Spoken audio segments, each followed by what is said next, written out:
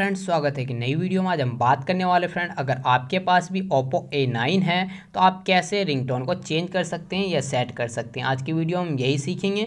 और इस चैनल पर पहली बार आए हैं तो चैनल को सब्सक्राइब लाइक बेल आइकन का बटन ज़रूर दबा दें, ताकि आने वाली वीडियो का नोटिफिकेशन आपको मिलता रहे। और किसी भी एंड्रॉइड डिवाइस में, किसी भी ओप्पो के डिवाइस में आप जो है रिंगटोन को चेंज कर सकते हैं। तो बट आपको क्या करना होगा? आपको सबसे पहले सेटिंग्स को आपको ओपन कर लेना है। सेटिंग्स को आपको ओपन करने के बाद सबसे ऊपर टॉप में जो है सर्च सेटिंग्स का ऑप्शन देखने को मिल जाता है। तो इसमें आपको लिख देना है रिंगटोन तो यहाँ पे आप रिंगटोन लिखने के बाद आपको ऐसा इंटरफेस देखने को मिल जाएगा।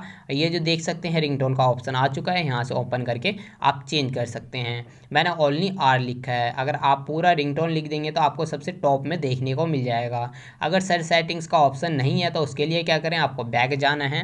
बैक जाने के बाद अब जो है आपको ऊपर की ओर स्क्रॉल करना है। साउंड एंड वाइब्रेटिंग जो लिखा हुआ है, इसे ओपन कर लेना है।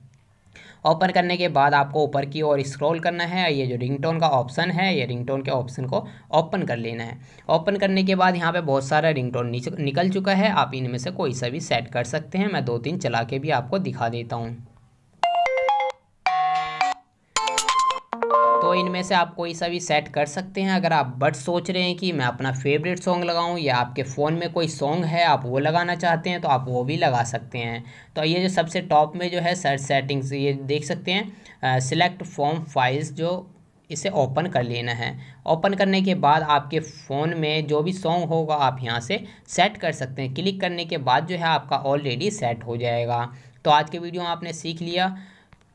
रिंगटोन कैसे सेट करते हैं? तो आज के वीडियो में बस इतना ही। ज़्यादा से ज़्यादा वीडियो को शेयर करें, सब्सक्राइब, लाइक, बेल आइकन का बटन ज़रूर दबा दें ताकि आने वाली वीडियो का नोटिफिकेशन आपको मिलता रहे। मिलते हैं नेक्स्ट वीडियो में एक नई टॉपिक के साथ। तब तक के लिए नमस्कार।